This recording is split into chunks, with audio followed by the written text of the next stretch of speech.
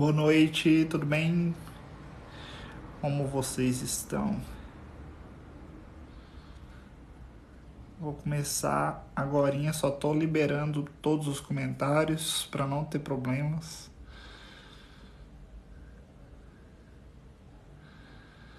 Hum, boa noite, tudo bem, Márcia?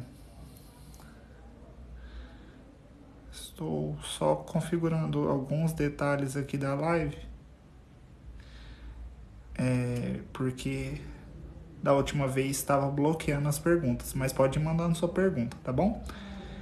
Vou falar sobre pets, sobre estresse, sobre alguns detalhes que nós precisamos entender e para poder proporcionar uma boa qualidade de vida para os nossos pets, tá bom? Hoje ficou definido de que eu vou fazer as lives apenas na terça e na quinta-feira. Então, se você tem dúvida e eu não respondi ela hoje, anota e comparece nas lives, terça e quinta-feira, às 19h30, tá bom? No restante dos dias eu vou estar tá tirando as dúvidas em forma de vídeo, mas em live tá ficando um pouco puxado para mim, para minha saúde, tá fazendo na frequência que eu tô fazendo todos os dias, tá bom?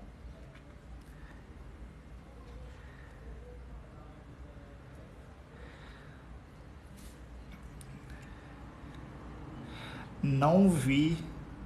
Você pode me passar esse link dessa matéria? Eu queria ver a marca, essas coisas, até mesmo para me precaver. Hoje eu passei mal o dia inteirinho e acabei não, não vendo nada. Eu tenho crise de enxaqueca e eu não estava conseguindo enxergar direito. Então eu passei muito mal hoje por causa dessas crises de enxaqueca. Mas se você puder me passar o link, eu vou, vou dar uma verificada. O que eu fiquei sabendo e que os veterinários aqui estão loucos é que a varíola do macaco teve o primeiro caso em cães, tá bom? Importante saber disso, porque alguns casos estão tá passando para cães, tá bom? Então nós precisamos nos precaver, cuidar sempre da higiene, contato, está doente, evita contato com o cão, tá? Na dúvida, né? É bom se precaver. Mas é muito importante a gente ter esses cuidados com petisco, com ração, com sachê, porque geralmente é, é um alimento que tem um shelf life. Shelf life é tempo de prateleira. É muito grande, tá? E esse shelf life, estando muito grande, dá muita possibilidade de mau armazenamento. Então, assim, a, a ração vai estar tá com a validade em dia, vai estar tá tudo bem, mas às vezes não está tudo bem.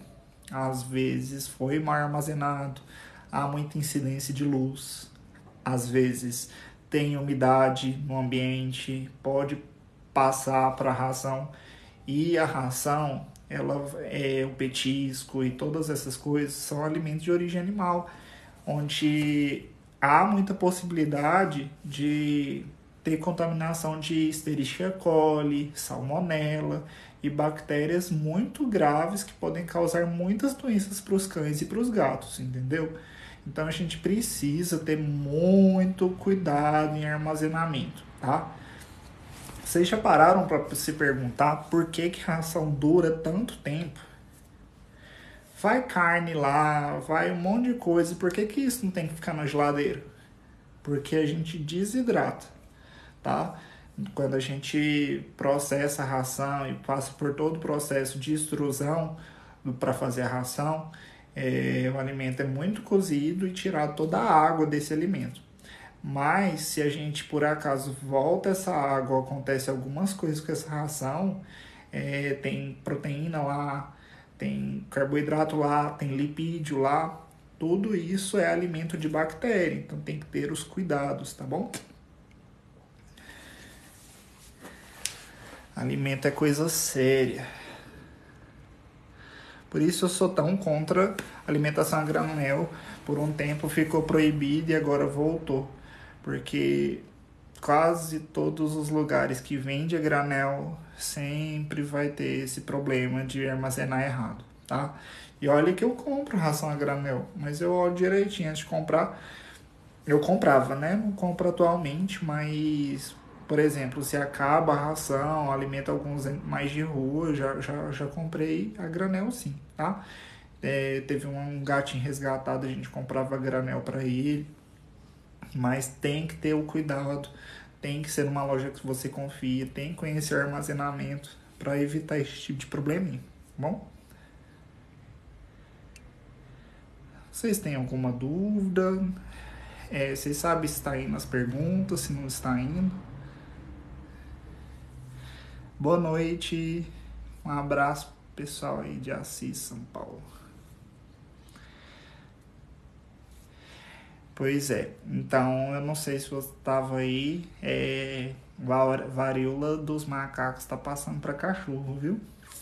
Tem que ter esse cuidadinho especial com higiene e prevenir essa doença aí. Você está com suspeita de estar, não entre em contato com seu cachorro.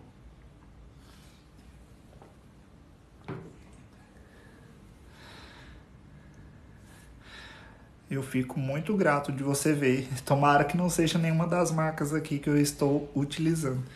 Mas é tão complicado essas coisas porque às vezes o, a, por causa de um problema, às vezes nem é da marca e sim do distribuidor, é, com, mancha a marca inteirinha, né?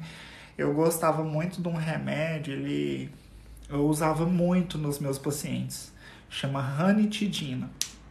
A ranitidina teve um lote dela que contaminou, ela parou de produzir e foi tirada completamente do mercado brasileiro e era um dos melhores remédios para acidez, para gastrites que eu conheço. Então, assim, eu me prejudiquei bastante porque contaminou um lote. Acho que foram 100 caixas da medicação. É seríssimo, né? Eu não tô falando que não é sério.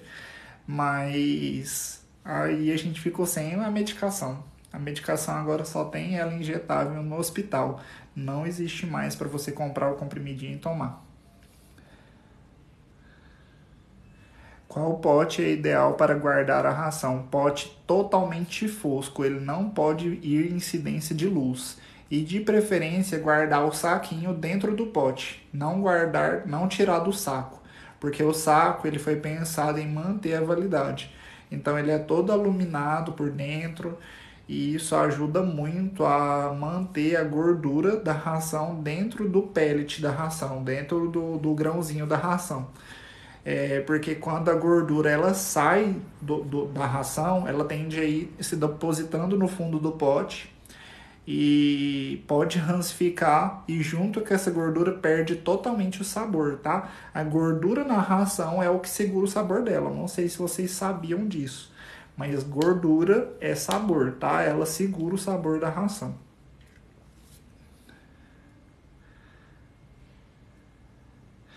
Geralmente as coleiras antipulga e carrapato, elas são a base de alguma coisa. É, tem algumas à base de amitrais, tem algumas à base de mio, mi, mi, é uns princípios ativos aí que eles são repelentes, tá? que, que acontece? Usar repelentes é a melhor forma? Nem sempre é a melhor forma, tá? Mas é uma excelente para evitar a picada do mosquito palha, né? Que é aquele que passa leishmaniose. Então, a melhor forma de prevenir a leishmaniose é através de repelentes. A coleira é uma das melhores formas para isso. É, eu uso muito coleira, é uma coleira específica para sarna demodesca, tá? Ela tem que ser de amitrasa coleira, o princípio ativo. Sarna demodesca é aquela sarna negra que dá nos cães. É... Porque o cão vai ficando todo. A pele vai caindo, os pelos e vai ficando tudo pretinho. É... que mais? Eu acho que para prevenir só o carrapato e a pulga eu acho fraco, tá? Mas para algumas doenças isso é muito válido. Eu falo que eu acho fraco porque uma vez eu usei na minha e eu achei um carrapato debaixo da coleira. Então, assim, eu duvido um pouco da eficácia, sabe? Minha cachorrinha tem a cama dela, mas ela fica deitando embaixo da cama. Queria saber o porquê. Porque ela está querendo fugir da luz. Eu não sei se você tem o hábito de ir para a cama e mexer ao celular ou deixar a luz um pouco ligada. Às vezes ela quer um ambiente mais escurinho, mais fresco. E debaixo da cama ela vai estar mais fresca, tá? Por causa que o ambiente é pequeno e ela vai estar sempre em contato com o chão, vai ficar mais fresca. Às vezes ela está com calor na caminha dela e às vezes também para se esconder da luz, tá bom? Então ela vai, ela vai usar esses artifícios para os dois motivos: ou o tamanho de calor e ela quer ficar num lugar mais fresco, ou ela está fugindo da luz. Ah, sei. Já usei, inclusive, tá? Esse Dental Care. É... Nossa, uma pena, né? Dental Care Everyday. É uma pena esses, esses petiscos. Muita gente usa, viu? Tomara que tenham recolhido aí do mercado, porque às vezes os acidentes a tendência a aumentar, né? Se eles causaram esse problema aí, se, se eles não recolhem, pode ir piorando, piorando, piorando. Ela repele ou é necessário que eles entrem em contato com a pele ou a, o pelo do cachorro? Ela tende a repelir, mas se o carrapato já estiver, ele não vai cair. Entendeu? Por esse, esse é o grande problema das coleiras. Se o carrapato estiver lá, é, pode ser que ele consegue ir mordendo e caminhando pela pele do cachorro, ou a pulga caminhando pela pele do cachorro e não caia. Mas evita do carrapato querer subir, porque elimina um mau odor para os carrapatos que eles não querem subir é, alguns produtos é tão forte que chega a fazer o carrapato e a pulga cair. Mas os carrapatos hoje estão tão resistentes, mas tão resistentes, que eu, assim, tem, tem o Simparic tem o NexGuard, eu prefiro, tá bom? Se for só para pulga e carrapato, tem o Simparic e o NexGuard. Boa noite, Marta. Boa noite, Kátia. Tudo bem? Manda sua curtida aí e as suas dúvidas também. Não sei se ficou claro, é porque assim, a coleira ela, ela é mais repelente do que qualquer coisa, mas ela também trata.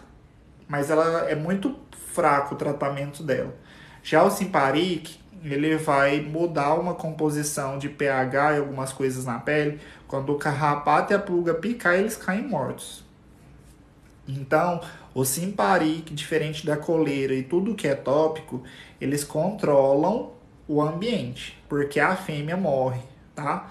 Já geralmente o animal que entra em contato com o veneno que há na coleira, é, ele cai vivo. Então ele não controla no ambiente. Então tem essa diferencinha. Por isso que é melhor os orais, porque se matando a fêmea não vai ter ovos e o seu ambiente vai ficando livre com umas duas, três levas de simpari que seu ambiente tende a ficar completamente livre do carrapato e da pulga. Comentário que você esperou? Não, a doença carrapato supostamente não deveria dar de novo, desde que curada corretamente. A grande questão é que a maioria das doenças carrapatos não são curadas corretamente. Inclusive, a bactéria está ficando cada dia mais resistente. Então, geralmente as pessoas tratam por poucos dias ou não faz o tratamento completo. Aí sobra uma bactéria, essa uma bactéria vai reproduzindo, reproduzindo, e essa uma bactéria era mais resistente, porque ela não morreu. Então ela vai passando a resistência dela para os filhos e vai a próxima vez que adoecer vai ser bem mais difícil de tratar. O tratamento é bem mais longo, só para vocês entenderem números a Airleak, que é uma das doenças carrapato, é 28 dias de tratamento com doxiciclina.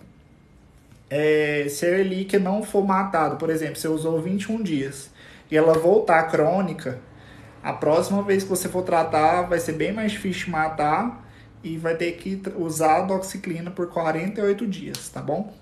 Então tem que fazer o tratamento certinho.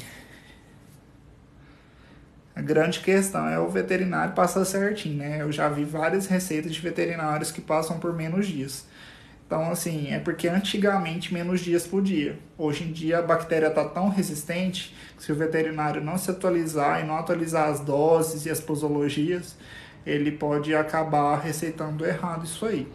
Então é muito importante estar tá sempre se atualizando, tá? E outra coisa que pode causar várias doenças carrapatos é porque são várias doenças carrapatos. São 5 a 6 é, são três mais comuns, anaplasma, Ehrlich e babésia, mas existe o... Esses dias eu consultei um cachorro, é muito raro, hepatozul. Hepatozul também é uma doença carrapato e tem as derivadas do anaplasma e da babésia. Não é a canis, é, tem os derivados lá e também são doenças carrapato, tá? Mas cada um é uma imunidade. Então é, é importante você observar qual doença que teve, porque o seu animal pode ter a outra, tá bom?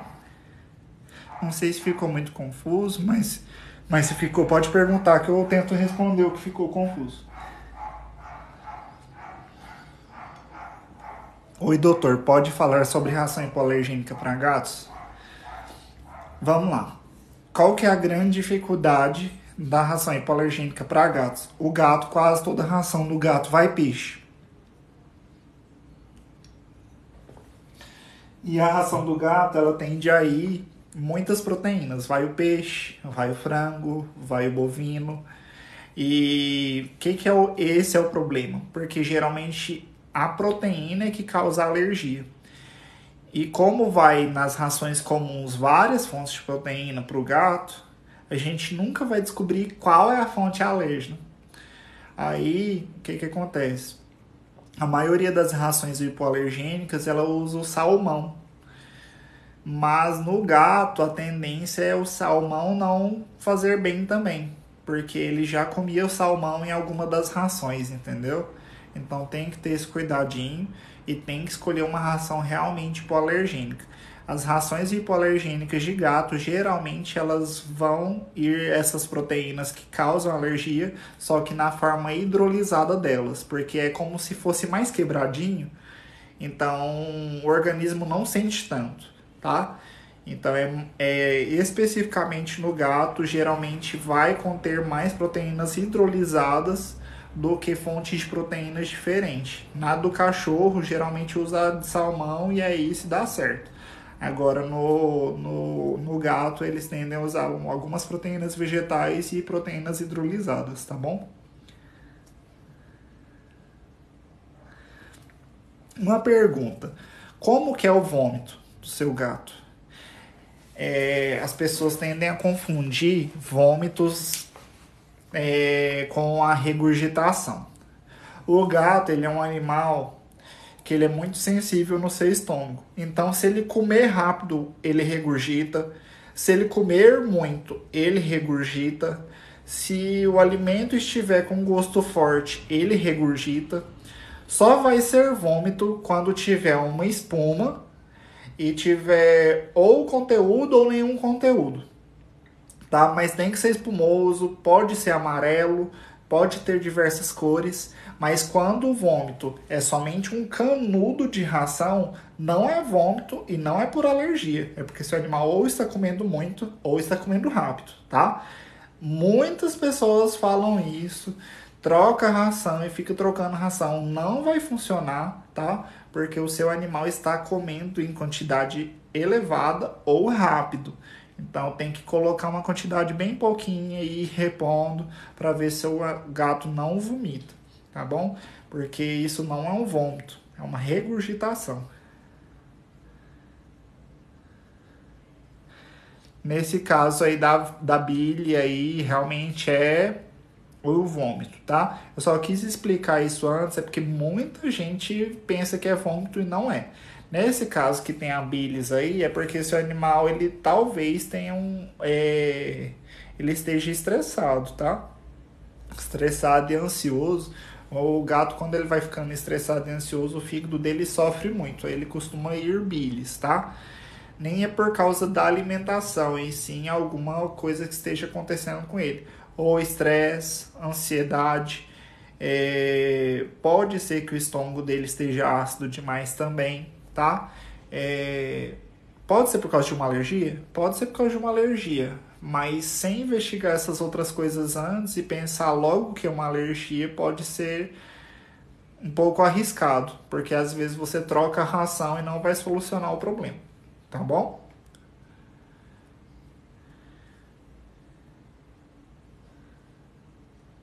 Entendi. Tem que tirar esse acesso à rua, fazer o uso do Fairway na tomada, tá? É, às vezes usar um catnip para ter vários momentos ali durante o dia que o animal vai ali no catnip para relaxar, tá? É, às vezes está faltando enriquecimento ambiental, às vezes está faltando caixas de areia. O ideal é de uma a duas por gato, tá? Então, se você tiver vários gatos na sua casa, às vezes uma só faz, é pouco. É, às vezes tem que ter vários potes de comida e fontes de água durante a casa, porque o que mais estressa o gato é falta de recurso, tá? Então, assim, às vezes é falta de recurso para fazer as suas necessidades básicas, falta de recurso para comer e beber e tédio. Então, assim, às vezes ter, tem que ter realmente brinquedinhos, tá? Tédio também causa bastante estresse em gato.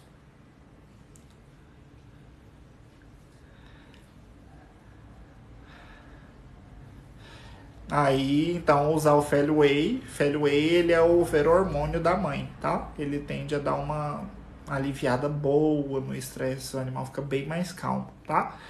Então ajuda bastante e enriquecer o ambiente, colocar mais fontes, colocar mais potinhos de comida, é, caixinhas de areia e é isso. Vamos ver se vai melhorando. E vai verificando com o seu veterinário para às vezes fazer uma ultrassom e verificar como que está esse fígado, tá bom? Porque às vezes no exame de sangue vai vir e tá bem, mas no exame do ultrassom o fígado não está bem como você acha, tá bom? Vale muito a pena fazer um ultrassom nesse gato seu aí.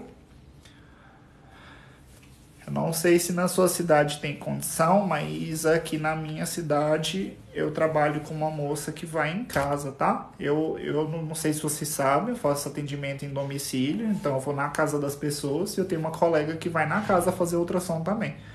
Não sei se você vai ter essa mesma condição aí na sua cidade. Muito obrigado. É... é isso então, gente. Vocês têm mais dúvidas, alguma coisa? Tá cedo ainda. Pretendo fechar a live, não. Mas se vocês não tiverem dúvidas, eu já vou fechar a live. Tá bom? Eu não sei se vocês estavam aqui no início. Eu vou fazer essas lives como as dúvidas vão acabando é, eu estou fazendo todo dia, às vezes fica um pouco puxado para vocês, às vezes vocês não vão ter mais dúvidas, vão parar de acessar as lives e para mim às vezes fica um pouco cansativo também. É, então vou fazer na terça e na quinta-feira às 19h30, tá? Toda terça e toda quinta, anota suas dúvidas e traga elas na live, tá bom? Essa live, o objetivo dela é sempre tirar dúvidas e trazer esclarecimentos sobre como você vai criando o seu pet. Eu vou trazendo o que eu vejo no meu dia a dia também, porque às vezes, é, por causa da minha rotina clínica, eu sou obrigado a estudar demais, então eu trago o que é de mais novo para vocês. Porque eu vejo coisas acontecendo na minha rotina clínica, eu preciso estudar sobre aquilo, para não ficar desatualizado, tá bom? Aí eu acabo trazendo aqui para vocês também.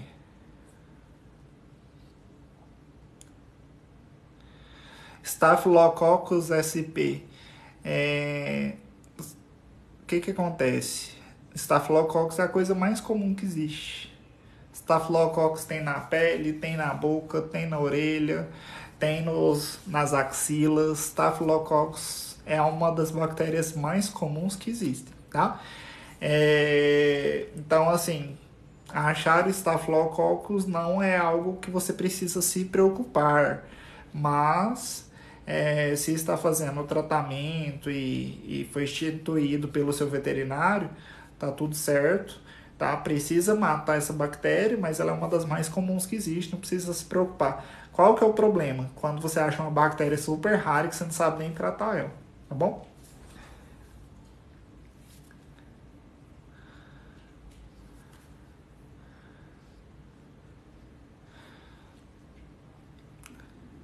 Entendi. Então segue a dica da sua médica aí, porque realmente às vezes um ingrediente ou outro que muda na ração vai melhorar bastante a saúde intestinal do seu animal, tá bom?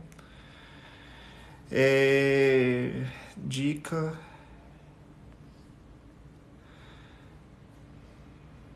Deixa eu ver.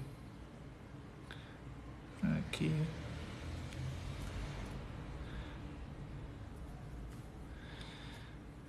Certo. Vou levar. Eu não sei qual dica sobre o que, porque eu tenho um monte de dicas. Mas eu precisaria que fosse um pouco mais objetivo para dar a dica. Eu tentei achar um comentário que conectasse a essa dica que você quer. É, vou levar o exame amanhã para o veterinário. Isso mesmo, leva para ele observar e instituir o melhor tratamento possível. Provavelmente não vai ser um antibiótico tão forte, porque é uma bactéria muito comum, tá? Staphylococcus é uma das mais comuns que tem. Meu cachorro come Golden Light, quero dar Biofresh. É uma excelente troca, tá? É, cuidado na dosagem, porque se ele já come Light, a Biofresh ela é uma ração mais robusta. Então você nunca vai dar a mesma quantidade. Muito provavelmente ele vai comer bem menos, tá? É, e vai ficar mais tempo saciado porque tem mais fonte de proteína, tá? Na Biofresh. Então é uma excelente troca, mas cuidado para não dar a mesma quantidade das duas, porque a Biofresh ela tem muito mais densidade calórica porque ela é uma ração mais completa, é uma ração melhor, tá? Então provavelmente vai ter mais nutrientes em menos quantidade, tá? Então tem esse cuidadinho especial. É, meu gato fica o tempo todo se lambendo e com isso tá caindo bastante pelo dele. O que pode ser? O gato é normal que ele se, é, vai fazer a sua higiene. O que, que acontece? Às vezes o pelo está caindo e por isso ele está lambendo. Porque o gato ele não suporta sujeira no seu corpo. Então, às vezes, ele está reconhecendo o pelo que está caindo como sujeira no corpo. E por isso ele está se lambendo. Então, o que, que a gente precisa olhar? Se o animal está passando por um momento estressante, estressante, um momento estressante pode fazer cair muito pelo. Eu não sei se você estava na live um pouco mais cedo, eu expliquei algumas coisas que vai causar estresse no seu gato, mas principalmente a, é, algum intruso no ambiente, você adotou um novo gato, alguma coisa assim, falta de recurso, ou seja, tem pouco pote de comida, tem pouca fonte de água, tem pouca caixa de areia e é, outra coisa que também irrita ele é o tédio. Então tem que ter enriquecimento ambiental, brinquedos, arranhadores, aquelas peninhas. Tem que ter um momento que você vai brincar com ele, tá? Para ele poder gastar energia. Sabendo que não está estressado, o que, que é uma outra coisa que pode causar muita queda de pelo? A, a verminose. O gato, porque ele se lambe muito, muito higiênico, importante fazer a desverminação dele trimestralmente, de 3 em 3 meses, tá bom? E fora isso, é, a ração às vezes está sendo insuficiente, às vezes compensa fazer a troca da ração, porque às vezes mudando a ração cai menos pelo, tá bom?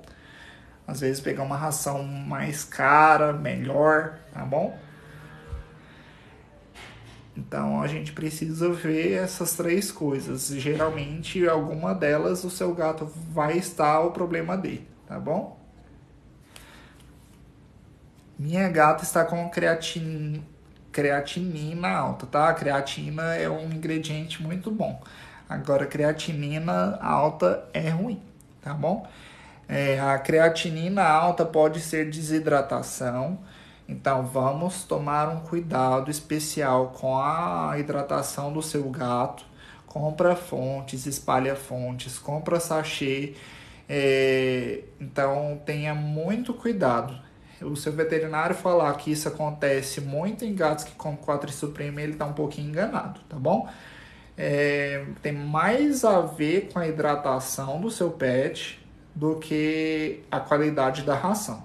Se ele come apenas ração, é, ele precisa estar comendo sachê. Ele está te dando um sinal que ele está desidratado, tá bom?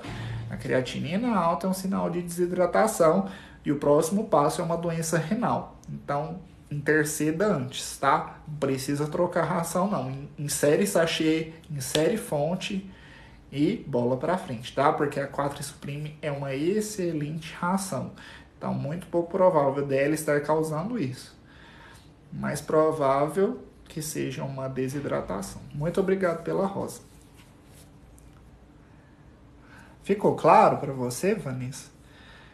Porque a gente precisa entender o motivo de cada coisinha ali no exame, tá bom? A creatinina isoladamente estar alta, muito provavelmente o seu gato está ingerindo uma quantidade insuficiente de água.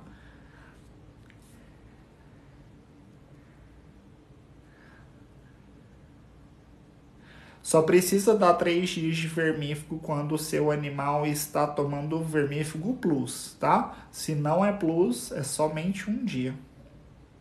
A não ser que você esteja comprovado no exame coprológico que seu animal esteja com algum verme. Aí você tem que dar dose de ataque e pode ser 2 a 3 dias.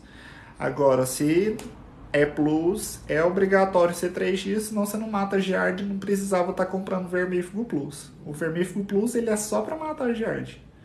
Aí se você não dá 3 dias, você não mata Giard não precisava estar tá dando plus. Tá bom? Então é. Se for só o Drontal gato, não for o Drontal plus, não tem necessidade de ser três dias, a não ser que você esteja fazendo um tratamento com seu veterinário especificamente para matar algum tipo de verme que você fez exame coprológico e viu que tinha verme.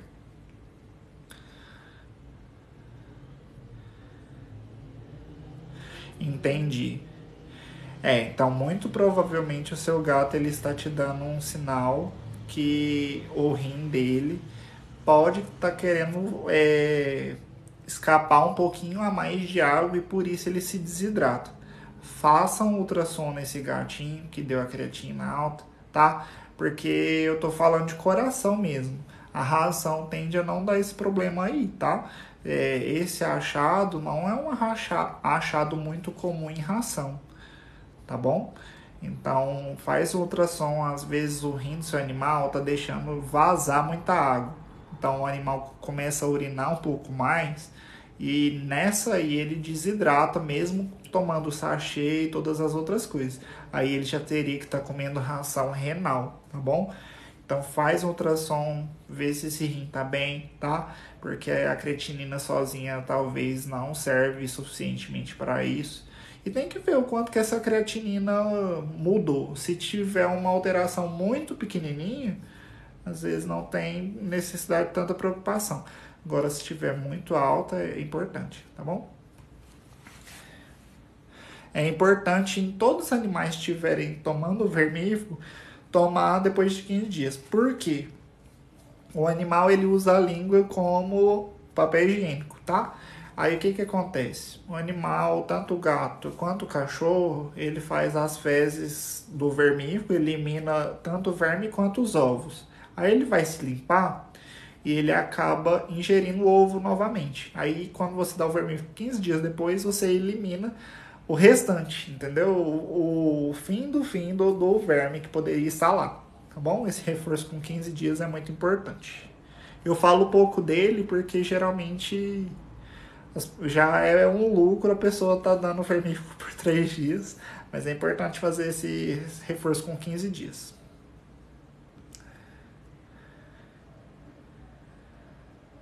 Entendi.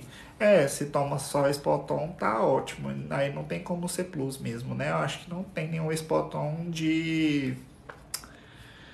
de plus, né? Eu acho que não tem. Inclusive era importante fabricar, né? Vou fazer essa semana que vem. Já tive gatinho renal e sofri muito. É, é importante, sabe? Porque às vezes é o dia daquele animal, naquele dia ele bebeu pouca água, você fez o exame nesse dia, às vezes foi muito estressante, pode ser tantas coisas. No ultrassom você tira essa dúvida, porque às vezes não é nada e você está preocupando, tá? Mas assim, ração eu acho pouco provável. Ração tem mais relação com problema urinário do que problema renal. Creatinina alta é mais um problema renal, tá bom? Tem animal que vai ter problema urinário e a creatinina dele vai estar tá super bem. Power Cat. É, não tá tão alta, né? Essa creatinina aí, ela tá até não tanto aceitável. Fala um pouco da ração Power Cat. Ração Power Cat eu não tô com acesso aqui Inclusive, eu esqueci de trazer o celular aqui. Eu vou ficar te devendo porque eu não conheço a ração, tá? E... Se eu for olhar aqui, eu vou desligar a live. E eu esqueci de trazer o outro celular porque ele não estava com bateria.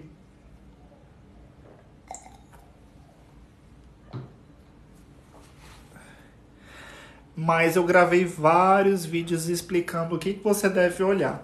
A ração você tem que olhar principalmente as fontes de proteína. Sendo de cat, né, gato, é importante você observar se vai ter muita proteína de origem vegetal. Gato ele é estritamente carnívoro, tem que ter pouquinho vegetal nessa configuração dos ingredientes. Então pega o saco e olha. Tem muito ingrediente de proteína vegetal, milho integral moído, farelo de soja, farelo de sorgo, isso aí tudo é fonte de proteína vegetal. É, é um indicativo que é uma ração de baixa qualidade, tá bom? Farinha de carne e ossos também. É um ingrediente de baixa qualidade. Até 1.4 é bem aceitável, tá? A creatinina. Acima disso, até 1.6 geralmente é desidratação e acima de 1.6 problema renal. Vale a pena trocar Royal Canin por Fórmula Natural Fresh Meat? É... Vale muito a pena. Muito a pena, assim, é uma ração infinitamente superior, tá? Só não vale a pena a troca se seu animal estiver fazendo um tratamento com a Royal Canin. Por exemplo, a Royal Canin Diabetic. Aí, se você fizer a troca, você vai atrapalhar o tratamento. Agora, se for as duas Royal Canin a Royal Canin normal e a é, Fórmula Natural Fresh Meat é uma troca excelente. Assim, você está trocando um gol pela Ferrari, tá bom? Muito bom. Mas obrigado pela atenção. Esses Power tem milhos transgênicos, é. Então, muito provavelmente é tá usando a fonte proteína vegetal que é de baixa qualidade. Eles usam isso para baratear a ração. Oi, boa noite. Fala um pouco da ração Excelência salmão e arroz. A ração Excelência, ela era uma ração muito famosa no mercado. Eu não sei por que saiu, tá? É, ela é boa, tem um bom custo-benefício, tá? Na sua maioria, ela não é a melhor do mercado, mas também não é a pior. É aquela ração que está ali no meio, vale a pena pelo custo-benefício. Então ela é mais ou menos assim, tá? Ela não, ela não tem pretensão de ser a melhor, mas para o que ela serve, que é o custo-benefício, é uma excelente ração, tá bom? Fala sobre isso. Muito obrigado, Vanessa. Espero ter te ajudado e te despreocupado. A grande questão é que as pessoas às vezes vê um exame, vê as coisas e ficam é, preocupados em excesso. E como você falou, você já teve um gato com problema renal. Então eu imagino o seu desespero de ter pego um exame desse. Às vezes você ouvir um profissional acaba te acalmando, tá? Fala sobre Special Dog Gold, é a mesma questão de excelência salmão e arroz, tá? Ela é uma ração visando custo-benefício todas as Special Dog e Special Cat é uma ração que vai muita proteína vegetal para baratear a ração, tá? Ela é boa porque ela é uma ração que com bom custo-benefício, é melhor que Whiskas e essas coisas que tem no supermercado, essas rações de supermercado. Não é a melhor do mercado, mas se é o que você tem condição de comprar, tá ótimo, tá bom? Principalmente para quem tem muitos animais. Então é uma boa ração visando o custo-benefício. Existem melhores, tá? Mas pensando em custo-benefício, é uma excelente ração especial dog. Ele come a mini indoor, mas está recusando. Tentei trocar pela ND, mas ele odiou. Pensei na fórmula. Vou te dar um testemunho aqui. É, a, a mini indoor, ela é uma ração que tem o, o sabor um pouco ruim, tá? É, todos, eu tenho uma hospedagem aqui em casa, todos os animais que vieram comendo ND. Eu defendo muito ND, tá? Sou veterinário que defende ND, gosto dela, visando somente ingrediente. Mas todos os, os animais que vêm comendo ND para cá recusam a ração. Aí eu dou a fórmula natural da, da minha filhinha, eles comem a ração. Porque eu, eu fico preocupado de ficar um, dois, três dias sem comer, aí eu não deixo, dou um pouco da ração da minha bebê. E ela come a fórmula natural e eles comem.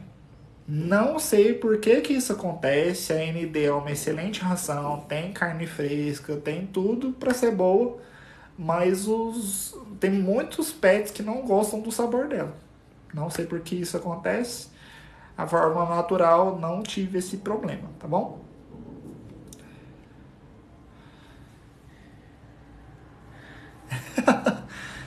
é, acontece. Realmente a, a Fresh Meat, por não ter grãos, às vezes você tava dando um ND com grãos, você vai ver muita diferença, tá? Porque a forma natural ela não tem grãos, aí para de fermentar. Se o animal era um animal que solta gases igual esse pug aí do comentário, vai melhorar bastante, bastante mesmo, porque a tendência é fermentar e produzir menos gases, tá bom?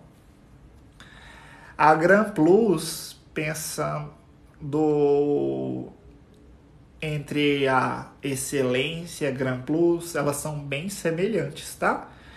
É, a Gran Plus ela vai ser melhor do que a Golden, ela vai ser melhor que a Origins, ela vai ser melhor que a Special Dog, Special Cat. Mas pensando na excelência, ela vai ser um pouco semelhante. É, inclusive, se for para cães, elas são muito semelhantes, mas se for para gata, Gran Plus vai ser melhor que a Excelência, tá bom? Porque a Gran Plus para gatos vai carne mecanicamente separada, que é uma das melhores fontes de proteína.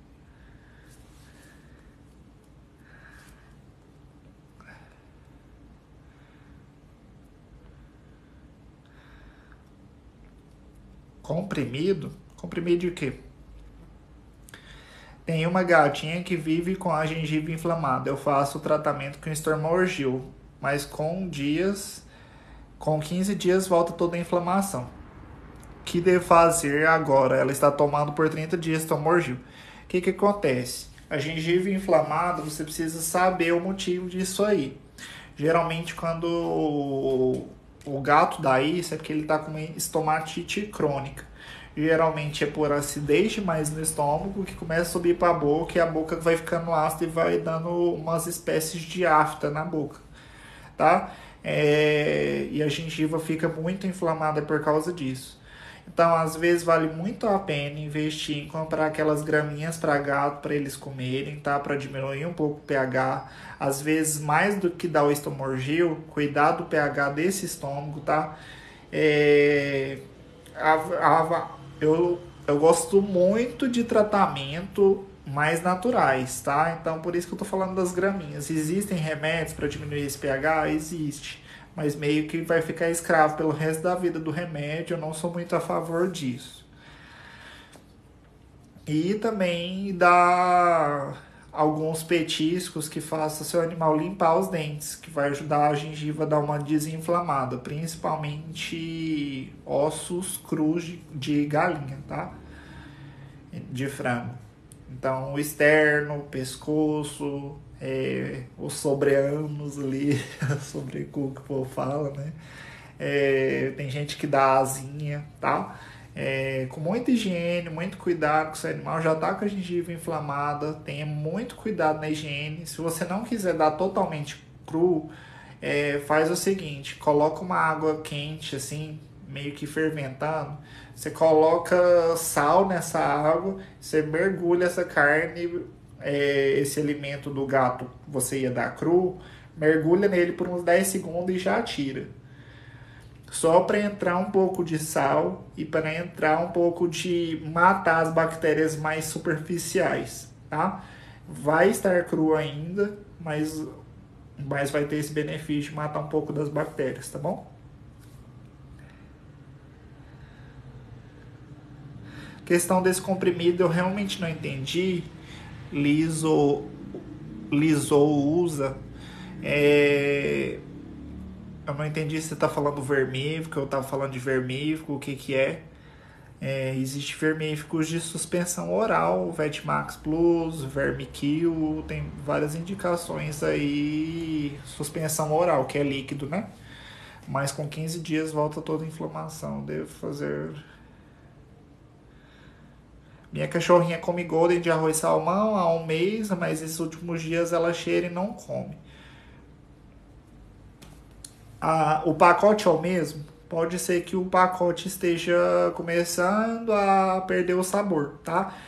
É, o que, que ajuda bastante é você sacudir essa ração, sacode essa ração pro para a gordura da ração voltar, se misturar ela para o sabor voltar, tá bom? Porque às vezes a ração vai ficando velha, se for o mesmo pacote há um mês, pode ser que a gordura esteja se depositando no fundo da ração, aí no, no fundo do pote ou no fundo do saco.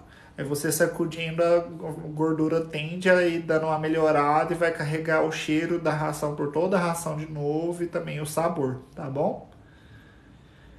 Pode ser isso. Ou pode ser tantas outras coisas, porque quase todas as enfermidades tiram o apetite. Às vezes ele está começando a querer dar uma febre, por isso que ele não come. Pode ser que ele esteja um pouco chateado com você, alguma situação que acontecer, está querendo te dar alguma, tipo, ah, não vou comer como birra, pode ser tantas coisas, mas falando sobre ração, é importante quando ela está quase acabando, você ter esse cuidado de sacudir ela para não perder o sabor, tá? Essa graminha aí que o comentário que você esperou falou de fazer graminha com milho de pipoca tá muito na moda e ajuda bastante, tá bom? Frango com osso é, tem que ser cru, tá bom? Aí, se você quiser fazer desse jeito que eu te expliquei, para dar uma quebrada na, nas bactérias, pode ser uma alternativa, mas não pode deixar cozir, porque se cozir o osso fica oco, tá bom? Aí ele fica oco e quebradiço pode machucar seu animal. Minha gata não aceita o comprimido, queria indicação de vermelho diferente. Tem o Mectal que ele é pastinha, tá? O Mectal, ele é uma pastinha, então ele o animal vai se sujar, ele vai querer lamber depois. E tem o, Vetmax Plus suspensão oral, que ele é líquido, aí você põe direto na boca. Aí você vê o que, que é melhor para o seu gato, tá bom? Mas tem essas duas alternativas que eu estou te dando aí. Vetmax Plus suspensão ou Mectal Gatos, ele vem em forma de pasta. Indicação de uma ração boa para ajudar na queda do pelo.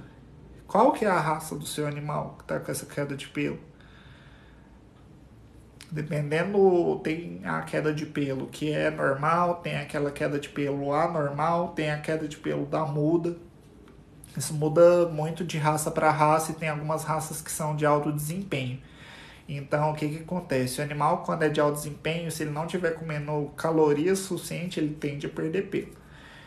Então, às vezes você vai ter que comprar uma ração de alto desempenho, às vezes você vai ter que comprar uma ração mais natural, porque às vezes ele tem sensibilidade alimentar, está fermentando. Então, vale muito a pena a gente saber o que, que é isso que está acontecendo, o tipo de pelagem do seu animal ou a raça, tá? Se você não sabe a raça, ele é ele é meio custosinho, assim, questão de raça, você não sabe se ele se ele é sem raça, se ele é misturado, o que, que é, me fala o tipo de pelo que fica mais fácil de eu te ajudar. Mas vale muito a pena comprar rações livre de grãos. Se for para te indicar, sempre compra ração livre de grãos, que elas têm uma tendência a não fermentar, não fermentando, não elimina os resíduos da fermentação que costumam dar problema nos pelos, dar aqueles avermelhamentos na pata, irritação ao redor do ânus, na boca, tá? Então, tem a fórmula natural Fresh Meat, tem a natural da Guabi Grain Free, que é livre de grãos, tem a ND Grain Free, tem a Biofresh Grain Free, todas essas aí pode ajudar muito na questão do pelo do seu animal, tá bom? Mas é igual eu te falei, se for um animal de alto desempenho e não está dando caloria suficiente, às vezes aumentando a quantidade da ração já ajuda. e às vezes o vermífugo está atrasado e você pode dar a melhor ração do mundo. Com o vermífugo atrasado, seu animal vai continuar com queda de pelo, porque os vermes vão comer partes dos nutrientes, tá? Por isso que dá queda de pelo. O pelo fica mais opaco e quebradiço.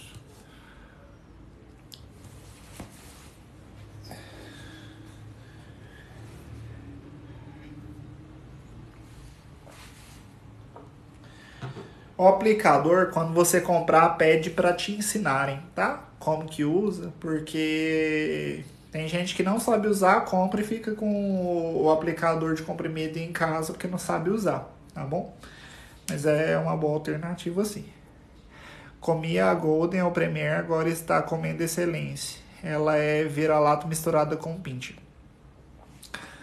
Tá, o animal de pelo curto, ele solta muito pelo é uma coisa que a gente precisa sempre entender. O animal de pelo curto solta muito pelo. Tem a queda de pelo normal e tem a queda de pelo de doença. Então a gente precisa tirar toda a possibilidade de ser falha nutricional, ração e tudo, e dar os vermífugos e trocar a ração. Sendo misturado com pincher, pode ser que tenha uma tendência a ter sensibilidade alimentar. Vale muito aquela troca que eu te falei por algo mais natural, livre de grãos, tá bom? Porque o pincher tem sensibilidade alimentar. É, então, olhar bem essa, essa condição, porque o, o animal de pelo curto ele solta muito pelo, é normal, porque o pelo dele chega no tamanho máximo, ele destaca para nascer outro. Então, ele fica nesse rodízio o resto da vida. E aí você pega um animal achando que não vai soltar pelo, que não tem pelo curto, não é peludão, né? E às vezes um Shih Tzu vai soltar muito menos pelo do que um Pinscher. E, é, e ele é peludão. Porque o Shih Tzu ele tem crescimento contínuo do pelo. Então o pelo dele cresce e você tem que aparar. Já o Shih Tzu, o Pinscher, ele cresce e solta, cresce e solta, cresce e solta.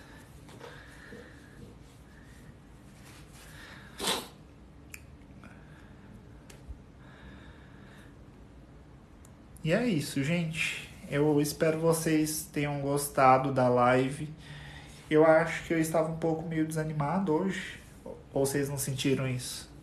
É porque eu tô. Eu passei dor de cabeça hoje o dia inteiro. Por causa da enxaqueca. E eu tô. Essa luz está me incomodando um pouco. É, porque eu gravo no escuro com uma luz direta no meu olho. Do, desses ring light. Aí isso acaba me irritando um pouco mas eu acho que eu consegui me expressar bem, falar tudo aqui. Espero que vocês tenham gostado, tá bom? E desculpa qualquer coisa, como é o nome das rações livre de grãos. Vou escrever para você aqui agora, tá?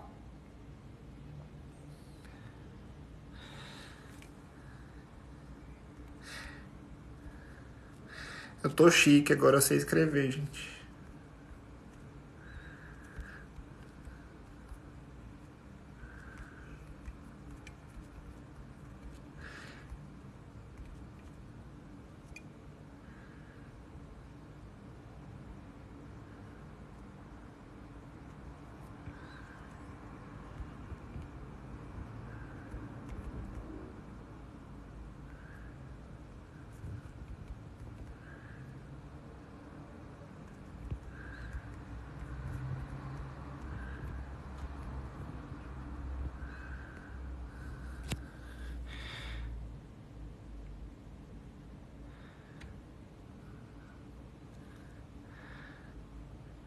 o comentário que você esperou foi mais rápido do que eu. Eu dou alimentação natural depois de maratonar por quase todas as marcas. Isso aí, você é muito abastada, abençoada por ter condição financeira de comprar, tá bom? Porque esses dias eu tava fazendo um orçamento para um, um animal para comer alimentação natural e ficou mais de 700 reais por mês não é todo mundo que tem essa condição, né? Então, uma ração natural, uma alimentação natural bem balanceada fica muito mais cara do que ração. Então, infelizmente, eu tenho que ensinar aqui sobre as rações porque não é todo mundo que vai ter essas condições. Existe ração muito boa no mercado.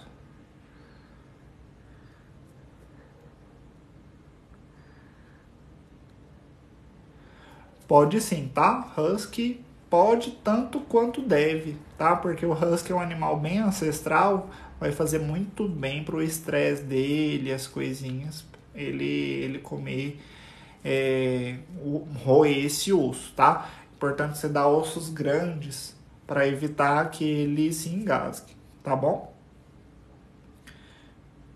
É isso aí. É fazer esses cursos de alimentação natural e montar as marmitas, tenha muito cuidado é, de sempre fazer os exames uma vez por ano, duas vezes por ano, para ver se está com as vitaminas em dia, tudo em dia, porque quase sempre falta vitamina, às vezes precisa suplementar, não precisa, tá? Fica só com esse cuidadinho aí.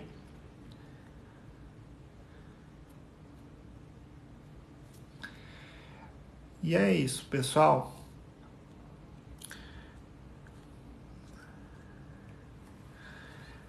Boa noite para vocês. Fiquem com Deus. Deus abençoe a noite de vocês. Nos vemos na terça-feira e quinta-feira, 19h30, tá? Essas lives vão acontecer na terça e na quinta-feira, 19h30.